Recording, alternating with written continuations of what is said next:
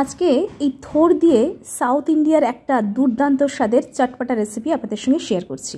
আপনারা তো অনেক রকমের স্ট্রিট ফুড খেয়েছেন, কিন্তু দেখুন তো ঠিক এই রকম স্ট্রিট ফুড খাওয়ার অভিজ্ঞতা আপনার আগে হয়েছে কি না আসুন চটপট করে দেখে নিই কীভাবে বানাচ্ছি চাট মশলা।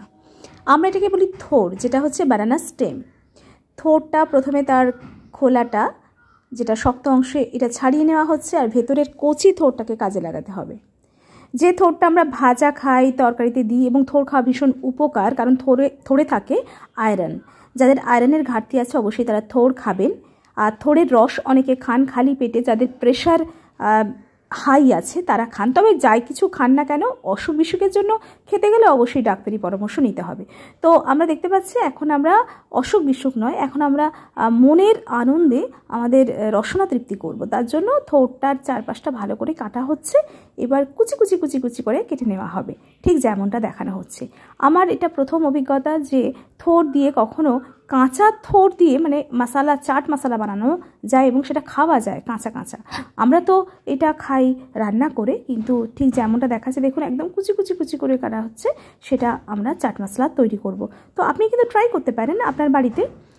দেখতে পারেন যে কেমন খেতে লাগল। এটা ভালোই লাগবে খেতে। আর খাওয়া ওই যে বললাম, ভীষণ উপকার। যে কোনো কিছু রান্না করার থেকে তার কাঁচার মানে খাবার খাদ্যগুণ তো অনেকটাই বেশি। তো থোরটা ঠিক এভাবেই কুচি কুচি করে কেটে নিতে হবে, একদম মিহি করে যতটা সম্ভব কুচি করে কেটে। এবার দেখুন, এটা শশা কিন্তু, ভাবতে পারছেন? শশা এই শশাটাকেও দেওয়া হবে। কীভাবে দেওয়া হবে?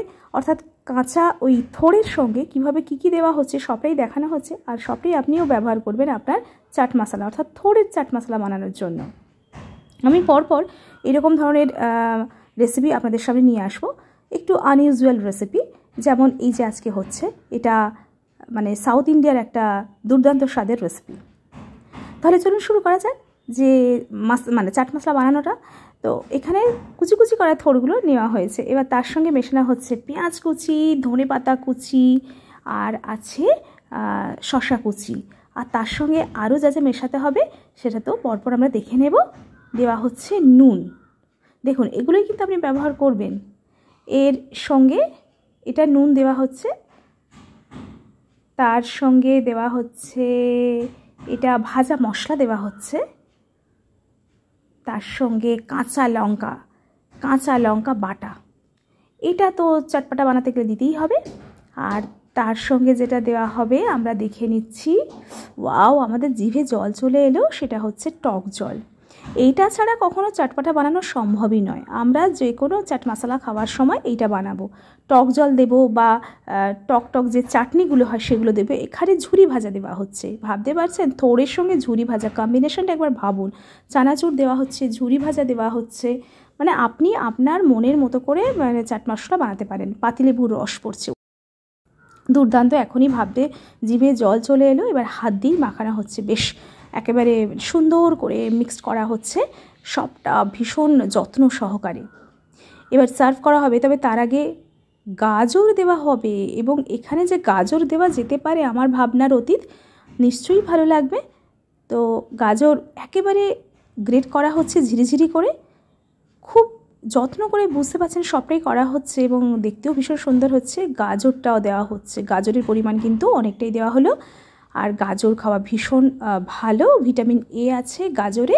গাজর খেলে চোখ ভালো থাকে। গাজর খেলে আপনি কিন্তু বিভিন্ন রকমের রোগ আপনার দূরে চলে যাবে। আর কলা পাতায় করে সার্ভ করা হচ্ছে। তো বুঝতেই পারছেন, ওর উপর দিয়ে ঝুড়ি ভাজা দেওয়া হচ্ছে কলা পাতায়। কেন না সাউথ ইন্ডিয়াতে কলা পাতার প্রচুর প্রচুর ব্যবহার হয় এবং প্রচুর পাওয়াও যায়। ব্যাস, তৈরি হয়ে গেল। আপনি অবশ্যই এটা বাড়িতে একবার ট্রাই করে দেখবেন আর জানাবেন কেমন লাগল। এটা তো একটা স্ট্রিট ফুড সাউথ সাউথ ইন্ডিয়ার ভীষণ ভালো স্ট্রিট ফুড এবং খাওয়া ভীষণ উপকারী। তো আপনি এইভাবেই বানাবেন আর উপরে দেখুন ঝুড়ি ভাজা দেওয়া হচ্ছে, চামচ দেওয়া হচ্ছে, মনের আনন্দে খান। আমার মনে হয় ওই যে বিভিন্ন রকমের যে মশলাগুলো পড়ল, তাতে ওর কষা ভাবটা নষ্ট হয়ে যাবে। কেমন লাগল ভিডিওটা জানাতে ভুলবেন না। আজকের মতো এই পর্যন্ত। নমস্কার।